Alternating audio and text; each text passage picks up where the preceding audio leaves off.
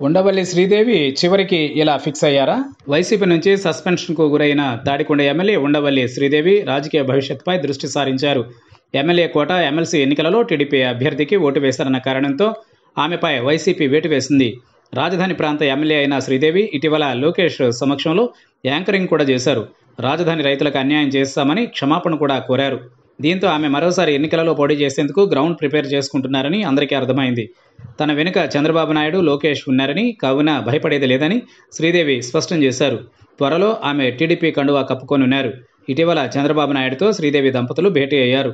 ఈ సందర్భంగా చంద్రబాబు ఎదుట శ్రీదేవి ప్రతిపాదన వెలుగు చూసింది బాపట్ల లోక్సభ స్థానం నుంచి పోటీ చేయాలనే తన ఆసక్తిని చంద్రబాబు ఎదుట బయటపెట్టినట్లు విశ్వసనీయ వర్గాల ద్వారా సమాచారం. ఆ నియోజకవర్గం ఎస్సీ రిజార్ట్ స్థానం. ప్రస్తుతం అక్కడి నుంచి వైసీపీ తరఫున నందిగం సురేష్ ప్రాతినిధ్యం వహిస్తున్నారు.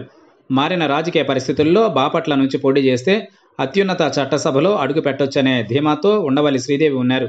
ఆర్థికంగా కూడా శ్రీదేవి బాగా ఉండడంతో ఆమెకు టికెట్ ఇవ్వడమే సరైందని టీడీపీ పరిగణలోనికి తీసుకుందని తెలిసింది. తాడికొండ నుంచి టీడీపీ తరఫున ఆశావహుల సంఖ్య బాగానే ఉంది. మాజీ ఎమ్మెల్యే తెనాలి శ్రావణ్ కుమార్తో పాటు సొంత పార్టీ పెట్టుకుని టీడీపీ పల్లకి మోస్తున్న రిటైర్డ్ న్యాయమూర్తి అలాగే అమరావతి ఉద్యమం పేరుతో వైసీపీ ప్రభుత్వాన్ని విమర్శిస్తూ చంద్రబాబు ఆయన కుమారుడికి భజన చేస్తున్న కొలకపూడి శ్రీనివాసరావు తదితరులు తాడికొండ టీడీపీ టికెట్ ఆశిస్తున్నారు. దీంతో ఉండవల్లి శ్రీదేవి బాపట్ల లోక్సభ సీటుపై కన్నేశారని సమాచారం. ఈ మేరకు తన ప్రయత్నాలని ఆమె వేగవంతం చేశారు.